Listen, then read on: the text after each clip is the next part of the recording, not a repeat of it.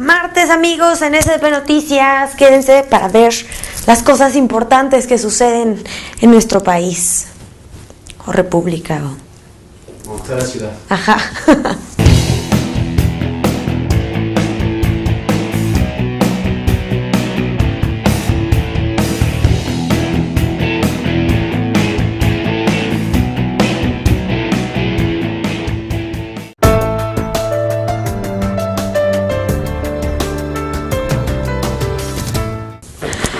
Este martes entraron en vigor los cambios realizados por el gobierno de Miguel Ángel Mancera al programa Hoy no circula en el Distrito Federal. Se establece en la Gaceta Oficial del DF que los automotores de otras entidades federativas o del extranjero podrán obtener por una sola y única ocasión un holograma mediante la verificación vehicular voluntaria, con lo que así se evitarán algunas limitaciones del programa. El calendario de verificación para los coches del Distrito Federal en el segundo semestre del 2014 será engomado amarillo y terminación de placas 5 y 6 en los meses de julio y agosto. Engomado color rosa en terminación 7 y 8 en agosto y septiembre. Engomado color rojo y terminaciones 3 y 4 en septiembre y octubre. Engomado verde terminaciones 1 y 2 en octubre y noviembre. Y engomado azul y cuyas placas terminen en 9 y 0 en noviembre y en diciembre. El holograma 2 se dará a los vehículos de uso particular de carga y transporte colectivo de pasajeros a gasolina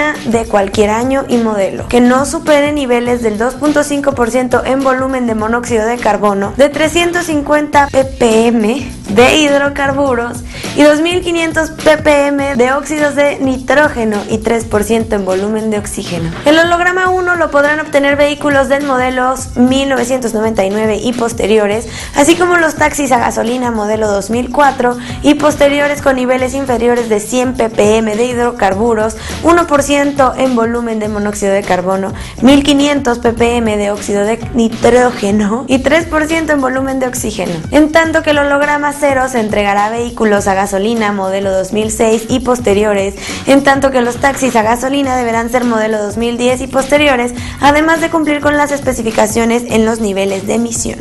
Y para obtener el holograma doble cero, pues nada, deberán de ser vehículos del año, prácticamente del año y obviamente posteriores y cumplir con las mencionadas medidas. El propietario del vehículo podrá realizar la verificación antes del periodo cuando le corresponde debiendo efectuar el pago de trámite cuyo costo es de 398 pesos para todo tipo de hologramas.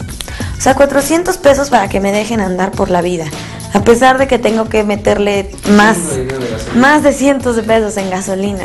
Y bueno, Debido a esto, un grupo de manifestantes mantuvo cerrado el tránsito en el anillo periférico con rumbo al oriente a la altura de Picacho Ajusco. Así lo reportó la Secretaría de Seguridad Pública del Distrito Federal.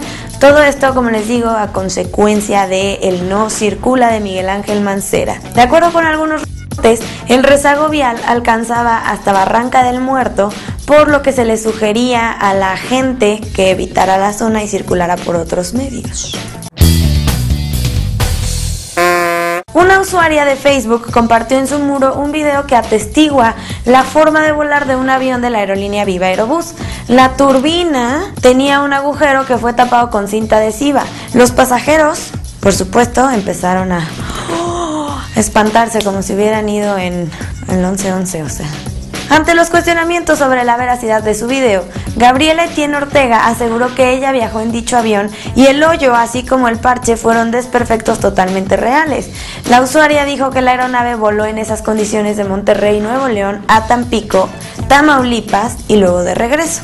En el mismo post, otros usuarios comentaron la situación, algunos lamentaron las terribles condiciones del avión, otros aclararon que es muy común este tipo de arreglos de emergencia y advirtieron que volar con un hoyo es ilegal, pero que ponerle speed tape o masking tape o duct tape o como le llamen no lo es. Por su parte, otro usuario compartió la supuesta respuesta oficial de Viva Aerobús. Existen reparaciones temporales que le permiten a las aeronaves completar sus vuelos, las cuales no afectan su aeronavegabilidad, es decir, la capacidad de volar de forma segura. En este caso, la cinta de alta velocidad, la cual no es duct tape, sino una cinta diseñada y certificada para cubrir reparaciones temporales fabricada específicamente para su uso en aviones de turboreacción, fue instalada para cubrir una falta de un registro. Un registro es una tapa que tienen los aviones en el pilón del avión. El manual del fabricante permite la continuación de las operaciones sin la necesidad del registro o de la tapa. Sin embargo, puede también ser cubierto mediante la aplicación de la cinta de alta velocidad. Esto no afecta el vuelo y es un proceso certificado. La superficie en cuestión no generaba problema alguno en la aeronave, con o sin la aplicación de la cinta de alta velocidad. Sabemos que ver esto puede resultar sumamente alarmante, pero te reiteramos nuestro compromiso y con nuestros pasajeros y nuestro estricto apego a procesos certificados. Saludos a todos los enamorados. Sea como sea, la gente dice que para la mayoría de los pasajeros de ese vuelo fue aterrador ver cómo el parche se iba desprendiendo durante el viaje. Pero sí, amigos, déjenme y les digo, porque yo soy experta en el tema, esos registros, o sea, las tapas, como les comentaba, los aviones cuando los mandan a servicio, esos registros se quitan para ver lo que hay dentro del avión sin necesidad de quitar una parte más grande del avión, en este caso una turbina, como ustedes le decían, una ala de un avión, algo. Se quitan nada más esas tapas, se ve lo que hay adentro y se pone esa cinta para tapar donde iba la tapa. Esto no es algo alarmante y no es para que se espanten y no es como que el avión se va a caer. Tampoco es ningún soporte, ninguna cinta de ningún soporte. O sea, ¿cómo creen que una cosa de ese peso y aparte con la gente y aparte con las maletas va a poder estar volando con cinta adhesiva? Por favor, así no es. No es nada alarmante, no es para que se espanten, el avión no se va a caer, pero sí es para darles un jalón de oreja a los que realizan el mantenimiento de los aviones. Y gracias a ustedes supongo que Viva Aerobús va a correr a alguno de sus empleados. Y, simplemente se despegó la cinta adhesiva con el aire. Imagínense la velocidad a la que va. Soy experta en el tema. De nada.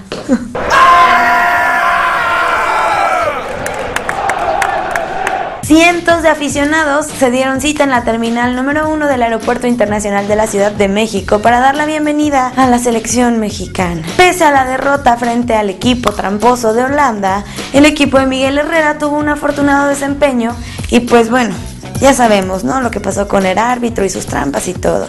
No importa, sus aficionados lo saben y es por ello que abarrotaron la zona de llegadas internacionales. Alrededor de las 21 a 30 horas se esperaba que a las 22 horas los deportistas cruzaran las puertas. Tras su llegada el Piojo Herrera, se supone que ofrecería una conferencia de prensa. No sé si lo hizo porque ya no vi las noticias. ¿Sí lo hizo? Sí lo hizo. Los exdiputados por el PAN, Sergio Israel Eguren Cornejo y Rafael Miguel Mel... Rafael Miguel, me engañaste. ¿Quién le pone un nombre así a su hijo? Rafael Miguel Medina Pedersini, en la Asamblea Legislativa del Distrito Federal, fueron detenidos junto con otros dos mexicanos en Fortaleza, Brasil, por realizar magullamientos o mayugues, magulles mayugues. Se sabrosearon unas. Por, sí, por manosearse ahí, a toquetearse a una mujer en sus partes nobles. y luego agredir a su acompañante varón que se presume era el esposo de esta mujer. Los hechos ocurrieron el domingo al mediodía luego del juego en el estadio Castelao. Bueno, en donde estaba el estadio de Fortaleza, las identidades de los presuntos agresores son los ciudadanos mexicanos Sergio Israel Eguren Cornejo y Rafael Miguel Medina Medina Pedersini. Además, iba con ellos Ángel Rimac Eguren Cornejo de 34 años y Mateo Codinas Beltén de 35. Sergio y Rafael actualmente formaban o forman es que todavía no se ha dicho. Sergio y Rafael actualmente forman parte del Consejo Directivo del Partido Acción Nacional en la capital y son funcionarios de la delegación Benito Juárez. Mientras Seguren es titular de la Dirección General de Desarrollo Delegacional Medina, funge como titular de la Coordinación de Gabinete y Proyectos Especiales de la Demarcación. O sea, son gente importante y bien acomodada aquí en el país. De acuerdo con el diario de Brasil, Lance, los detenidos podrían ser condenados hasta 8 años de reclusión por el delito de lesiones corporales graves y crimen sin derecho a fianza. La policía militar brasileña relató que dos abogados brasileños y la esposa de uno de ellos cruzaban la avenida Monseñor Tabosa cuando el grupo de mexicanos a bordo de un taxi que esperaba en el tráfico tocaron las partes íntimas de la mujer cuando pasó junto al automóvil. Entonces, Obviamente el esposo de la mujer pues les reclamó, se las hizo de pun y los mexicanos como saben lo único que hicieron fue bajarse del coche y empezar a golpearlo y lo dejaron todo ensangrentado. Aquí una imagen del pobre hombre. Tras lo sucedido, testigos que circulaban por la avenida impidieron que los agresores, en este caso los mexicanos, abandonaran el lugar hasta que llegó la policía, quien los trasladó a la Delegación de Protección al Turista y posteriormente a la Delegación de Capturas. En el lugar ya declararon tres brasileños y tres mexicanos, y aunque no se revelaron las identidades, las autoridades diplomáticas en Brasil dijeron que el consulado móvil les ha brindado la asistencia correspondiente para que sus derechos sean respetados. Y pues sobre el incidente, Mauricio Taba, quien es el presidente del PAN en el DF, indicó también en la red social, o sea en Twitter, que investigan los hechos en Brasil y en caso de que se acredite la responsabilidad, no van a tolerar esas conductas. Mientras tanto, señaló que así como el jefe delegacional de Benito Juárez, su partido espera escuchar las versiones de los involucrados y de las autoridades. ¿Qué esperas escuchar? ¿Qué te van a decir? Yo no fui. Los detenidos podrían ser, como ya lo dije, condenados hasta por 8 años de prisión por el delito de lesiones corporales graves y crimen sin derecho a fianza. Ojalá y aquí fuera lo mismo, un crimen. Bueno, no, mejor dedíquense a agarrar a buenos criminales. Bueno, estos también son criminales a su estilo. La corrupción es lo, es lo suyo, su mero mole. Para todos los que gustan de las selfies, los que ya estamos enfermos de selfies, se ha lanzado desde Suecia una aplicación para hacerlo de una forma más cómoda, sin tener que tocar la pantalla para hacer la foto. Ya saben que uno a veces es y te cachan que es una selfie porque traes el otro brazo atravesado ahí así o tu brazo aquí. Se trata de GoCam, una app creada por los desarrolladores suecos de Crunchfish que te permite tomar selfies mediante gestos. Déjenme y les explico cómo funciona. This is GoCam. Let's take a photo. Make sure your whole hand is visible on the screen and spread your fingers a bit. When the icon turns green, close your hand to set the timer. To take another photo, just raise your hand again or swipe away the photo upwards. Tap on photo to edit. Apply filters and share with your friends. You can also use the back camera and record videos using GoCam. Start and stop video recording the same way you take a photo. You can trigger both photos and videos from up to 3 meters. For more instructions, swipe left and check out our Facebook for tips and inspiration.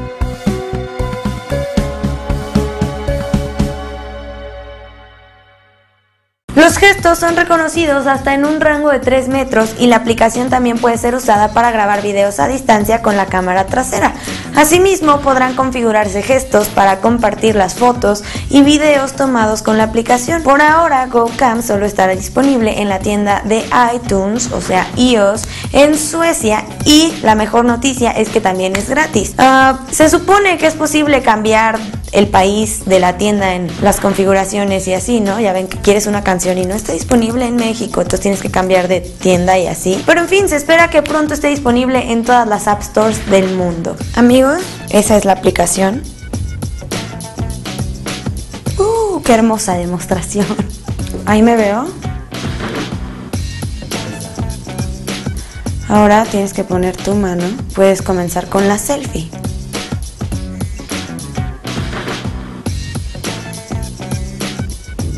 Y ya tienes una foto. La vuelves a levantar. Uh, no deja de sonar mi teléfono. Así son las selfies con la cámara, que diga con la aplicación. Y están padres. Bajen la aplicación.